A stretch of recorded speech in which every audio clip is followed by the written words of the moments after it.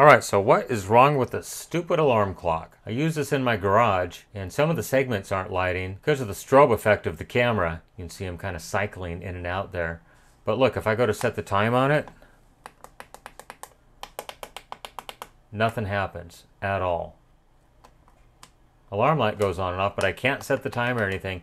And what I noticed the other day is when I went out there, it was just stuck on 12, not even flashing, just stuck on 12. I'm thinking it's got a bad filter cap, so let's go ahead and pop it open and see what's inside. I mean, it's a really cheap little alarm clock. I don't even think I can set the alarm on it. No, can't even set the alarm. It's like a $10 clock, but I hate to throw it in the trash when I can save it from the e-waste. Well, there's everything that's in it. HF1932 IC in there. The date code on it is, what is that, 01? 2001? Well, it it made it almost 20 years. Not bad for probably a 10 or $15 alarm clock, but I see a couple of diodes down there and I do see a filter cap in here. 220 microfarad, 16 volt cap. Let's drag the ESR meter out just for the heck of it and see what it checks like. 220 mic cap, I expect to see half an ohm or less on a fairly good cap, probably three quarters of an ohm or less on a cheap Chinacon cap. And the winner is open. Well, let's go ahead and slam another cap into it real quick and see if it makes a difference.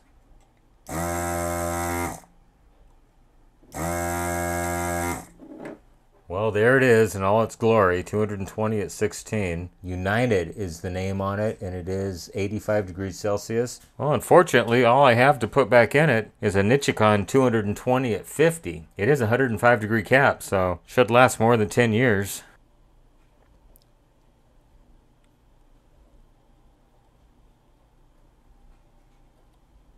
Okay, 220 at 50 installed. Let's go ahead and power it up. And look at that, all the segments are working. It is much brighter in person and the segments are not fading in and out. It is not C70L. Looks like 12 o'clock. It's just the strobe effect of the camera. Well, let's see if we can get this thing back together. But first, let's go ahead and measure the voltage across this cap when it's operating normally and just see what the voltage actually is.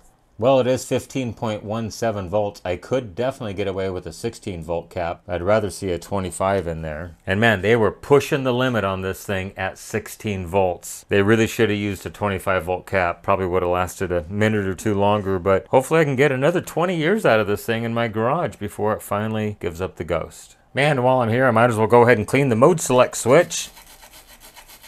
The alarm on off switch.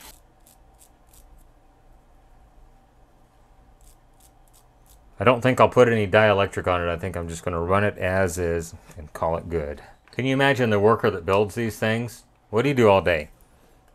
I build cheap Chinese alarm clocks. We have blue ones. We have green ones. We have red ones.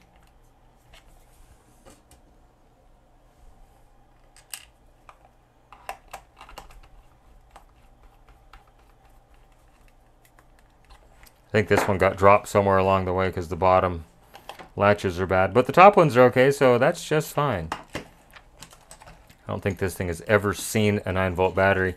In fact, probably the 9 volt battery clip is worth more than the whole clock itself. All right, let's turn some lights off. Power it on. Press the time set button. Look at that. Can we set the alarm on it?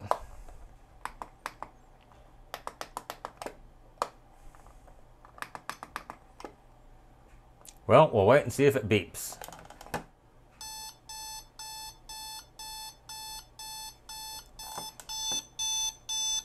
But that's it, the repair on the...